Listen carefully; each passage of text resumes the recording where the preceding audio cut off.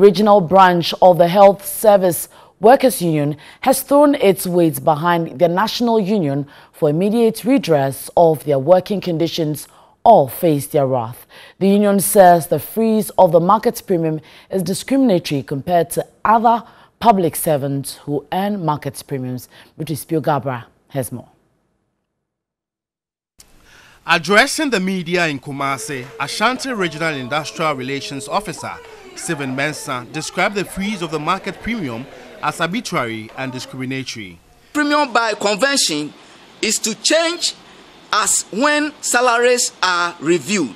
The market premium has been static since two, 2012 and not corresponding with our current salaries.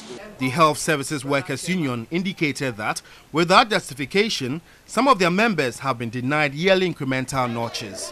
They said some of their members, since their migration onto the single spine salary structure in 2012, have been deprived of their yearly increment. Another concern raised by the union was a wrongful placement of medical physicists. The Health Service Workers Union has given government a two-week ultimatum to address their grievances.